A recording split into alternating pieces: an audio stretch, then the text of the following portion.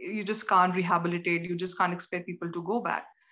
But you have acknowledged our situation now after God knows a decade or two decades after that. But you have to acknowledge the continuing problem Kashmir also, which is a religious problem. And this applies to politicians in Kashmir, to the civil society in Kashmir. Jammu has been speaking about it for a very long time, which people don't take seriously. And of course, New Delhi also. Until unless you don't realize it, you don't accept the religious problem of Kashmir also, there would be no political, I would say, uh, you know, solution also. Because politically, we have been seeing there have been many things going on, but nothing has been constructive till now.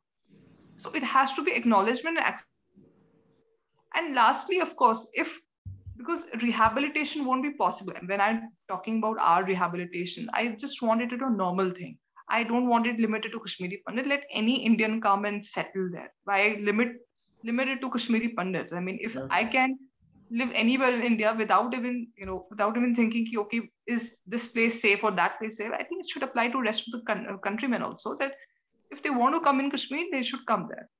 There should be no fear out, out there. Please remember to subscribe to us and switch on the notifications for this channel. For our other social media links, more content, and to support our work, please visit C I T T I dot net धन्यवाद नमस्कार।